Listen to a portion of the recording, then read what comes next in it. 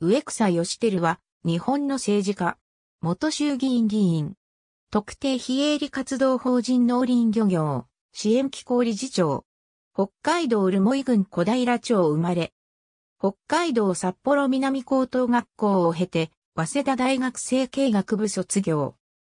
大野万木、中川一郎の秘書を経て、1979年の第35回衆議院議員総選挙に自由、民主党公認で北海道2区から立候補し、初当選。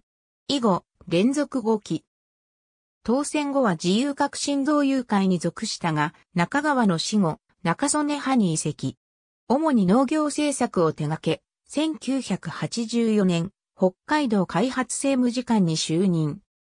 自民党農林部会長、1990年衆議院、定審委員長、自民党副幹事長などを歴任したが1993年の第40回衆議院議員総選挙で自民党への逆風を受け落選。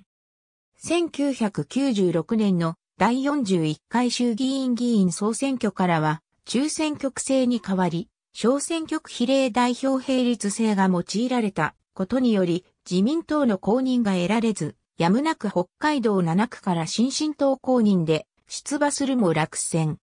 2001年の第19回参議院議員通常選挙では自由連合で比例区から出馬し落選。その後引退。2003年旭川大学経済学部客員教授。現在、旭川市に拠点を置く第一次産業に関連する NPO 法人の代表を務める。2009年11月旭日、重光明を受賞。ヒソトアソシエーツ編、新帝現代政治家任命辞典。ありがとうございます。